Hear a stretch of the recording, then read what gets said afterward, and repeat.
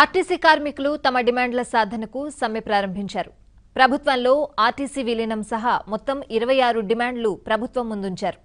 ఒకటి మినహా మిగతా ఇరవై ఐదు డిమాండ్లు ఆర్టీసీకి ప్రభుత్వానికి పెద్దగా భారం కానివే. అయితే ప్రభుత్వం కార్మికులతో చర్చలు కొనసాగించే ప్రసక్తే లేదని తేల్చేసింది.